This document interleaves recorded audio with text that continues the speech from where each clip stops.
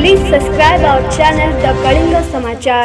ସାରା ବିଶ୍ୱ କରୋନା ମହାମାରୀ ପ୍ରଭାବରେ ଆତଙ୍କିତ ଭୟଭୀତ ଥିବାବେଳେ ପୂର୍ବତଟ ରେଳପଥ ସମ୍ବଲପୁର ରେଳ ଡିଭିଜନର ବିଚିତ୍ର ନୀତି ଆଜି ପଦାକୁ ଆସିଛି ସରକାର ବର୍ତ୍ତମାନ ଜରୁରୀ ନଥିବା ସମସ୍ତ ଠିକା କାମ ବନ୍ଦ କରିଥିବା ବେଳେ ସମ୍ବଲପୁର ରେଳ ବିଭାଗ ଟ୍ରାକ୍ ମରାମତି ନାମରେ ଅନ୍ୟାନ୍ୟ କାମରେ ମାତିଛି ତାହା ପୁଣି କୋଡ଼ିଏ ଜଣରୁ ଉର୍ଦ୍ଧ୍ୱ ଲେବର ଲଗାଇ ଠିକାଦାର କୌଣସି ସାମାଜିକ ଦୂରତ୍ୱ ନ ରଖି ଦିନ ବେଳେ କାମ କରୁଛନ୍ତି।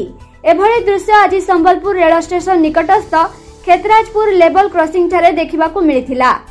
ଏ ସମ୍ପର୍କରେ ସୂଚନା ପାଇ ଘଟଣାସ୍ଥଳରେ କ୍ଷେତ୍ରାଜପୁର ଥାନାଧିକାରୀ ମମତା ନାୟକ ପହଞ୍ଚି ଠିକାଦାରକୁ ତାଗିଦ କରିଥିଲେ। ସୂଚନା ପାଇ ରେଳ ସୁରକ୍ଷା ବଳ ଅଫିସର ସୁଶୀଲ ପାଠକ ଘଟଣାସ୍ଥଳରେ ପହଞ୍ଚିଥିଲେ।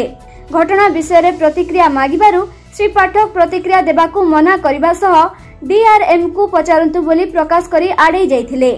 ଘଟଣାସ୍ଥଳକୁ ରାଜ୍ୟ ସରକାରଙ୍କର କରୋନା ମୁକାବିଲା ମାଜିଷ୍ଟ୍ରେଟ ଦାୟିତ୍ୱରେ ଥିବା ଜ୍ୟୋତିର୍ମୟୀ ମଲ୍ଲିକ ପହଞ୍ଚି କେନ୍ଦ୍ର ସରକାର ରେଳ ବିଭାଗ ଅଧୀନରେ ଏହା ଥିବାରୁ ରେଳ ବିଭାଗ ଅଧିକାରୀଙ୍କୁ ଆମେ ସୂଚନା ଦେଇଛୁ ଏବଂ ସେମାନେ ଏହାର ଉପଯୁକ୍ତ କାର୍ଯ୍ୟାନୁଷ୍ଠାନ ଗ୍ରହଣ କରନ୍ତୁ ବୋଲି ପ୍ରକାଶ କରିଥିଲେ।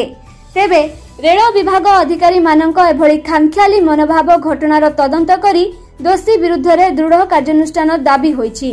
ସମ୍ବଲପୁରରୁ ସରୋଜ ସାହୁଙ୍କ ରିପୋର୍ଟ କଳିଙ୍ଗ ସମାଚାର।